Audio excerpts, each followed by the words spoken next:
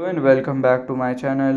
In today's video, I will show you how to send the iMessages with effects. So let's get started. So to send that you have to follow this easy step. So here you have to go and then we have the iMessage. Then here we can see we can use the bubble effect by this way.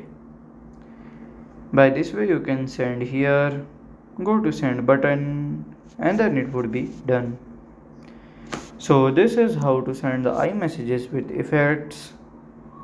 And if you find this video helpful make sure you like subscribe and share the video. Thank you for your watching